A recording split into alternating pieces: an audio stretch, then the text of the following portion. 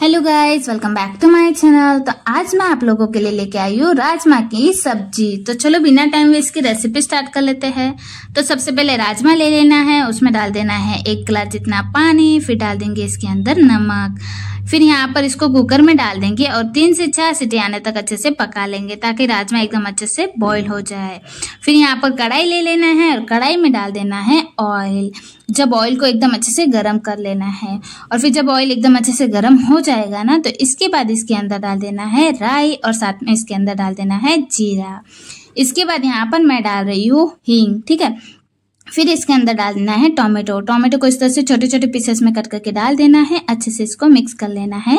इसके बाद यहाँ पर हम, मैं डाल रही हूँ थोड़ा सा कोकोनट पाउडर जो कि आपको मार्केट में एकदम इजीली मिल जाएगा। अच्छे से मिक्स कर लो और फिर यहाँ पर हम डाल देंगे एक एक करके सारे मसाले।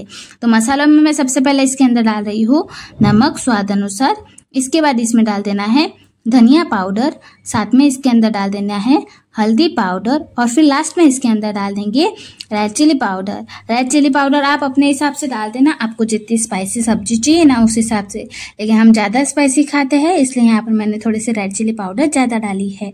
ठीक है गाइस फिर एकदम अच्छे से इसको मिक्स कर लेना है। और एक मिनट के लिए इसको पका लेंगे। तो इस तरह से आप राजमा की सब्ज़ी एक बार बनाओगे ना तो सच में बार बार बनाओगे। इतनी टेस्टी बनती है।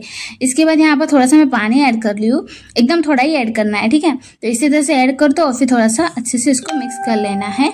और फिर तीन से चार मिनट के लिए अच्छे से इसको पका लेंगे। जब तीन से चार मिनट हो जाएगी ना तो इसके अंदर थोड़ा सा पानी और ऐड कर देना है। फिर वापस इसको मिक्स कर लेना है। इसके बाद यहाँ पर मैं डाल दूँगी बॉईल किए हुए राजमा। तो यहाँ पर जो राजमा मैंने बॉईल कर दिए थे ना, वो सारे राजमा इसके अंदर ऐड कर देना है और फिर इसको वापस से मिला लेना है, ठीक है?